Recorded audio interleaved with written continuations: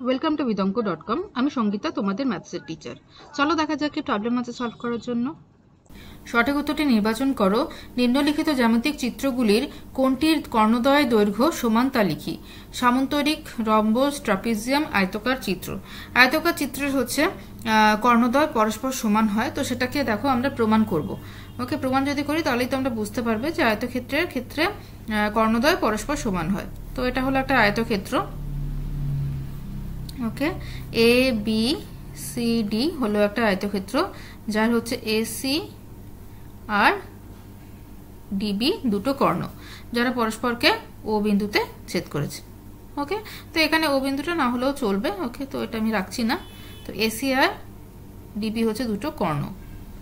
ওকে আচ্ছা এবারে যেহেতু এ বি সি ডি একটি আয়তক্ষেত্র। তো আয়তক্ষেত্রে আমরা কি জানি যে বিপরীত বাহুগুলো সমান হয় এবং কোনগুলো প্রত্যেকটা কোণ হচ্ছে নব্বই ডিগ্রি হয়।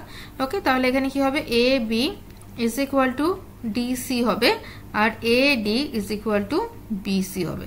ওকে, এটা হবে আর কি? Angle A is equal to angle B is equal to angle C is equal to angle D all the angles are ninety degree আচ্ছা এবার আমরা কি করছি?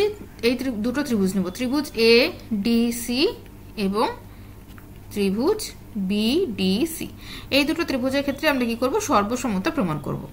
ওকে? তাহলে AD is equal to BC okay? তাহলে এটা হলো AD is equal to BC তারপর দেখো DC is equal to DC সাধারণ বাহু। আর কি? না angle D is equal to angle C okay? Angle D is equal to angle C কারণ তার প্রত্যেকে হচ্ছে নব্বই degree. Angle D is equal to angle C তাহলে আমরা বাহু কোন বাহু? এই সর্বসমতা থেকে বলতে পারি যে এই ত্রিভুজ, এই রুল থেকে বলতে পারি ত্রিভুজ এ ডি সি এবং ত্রিভুজ বি ডি সি এরা হচ্ছে সর্বসম। এবং আমরা জানি সর্বসম ত্রিভুজে অনুরূপ অংশগুলো সমান হয়। তাহলে অনুরূপ অংশ মানে এখানে A C is equal to PD হবে। তাহলে AC is equal to BD মানে কি? যে কর্ণদয় আয়তক্ষেত্রে কর্ণদয় পরস্পর সমান। তাহলে এখান থেকে প্রমাণ হচ্ছে কি? আয়ত ক্ষেত্রের বা আয়তকার চিত্রের কর্ণদয় সমান। ওকে তাহলে কি? অপশন ডি হচ্ছে আমাদের সঠিক উত্তর। Thank you for watching Vidanko dot com অঙ্কের আরও প্রবলেম এবং সলিউশনের জন্য আমাদের ওয়েবসাইট অবশ্যই ব্রাউজ করো।